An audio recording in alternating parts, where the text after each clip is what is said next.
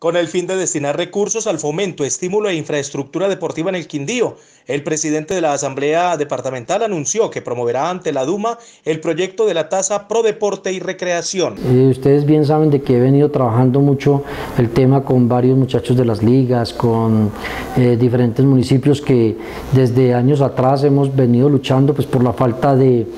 implementos, por la falta de escenarios deportivos que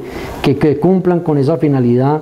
y, eso ha sido un poco difícil. Pero pues ahora que llega la tasa eh, eh, pro deporte, pues hombre, eh, eso es una bendición que el Congreso de la República la haya aprobado y por eso nosotros también tenemos que darle celeridad. Eso no es para que quede letra muerta o, o quede durmiendo. De igual manera, durante el periodo próximo de sesiones, se espera aprobar el proyecto de ordenanza que crea e institucionaliza para el Quindío los Juegos Departamentales evento que servirá de preparación a los deportistas élite que esa tasa quede aprobada para este año, porque sabemos que vienen los Juegos Nacionales y Paranacionales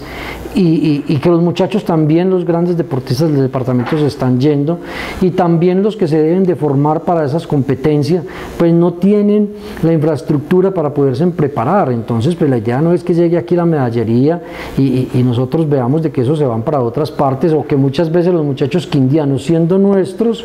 ganen medallas, pero que esas medallas no se queden acá en nuestro departamento.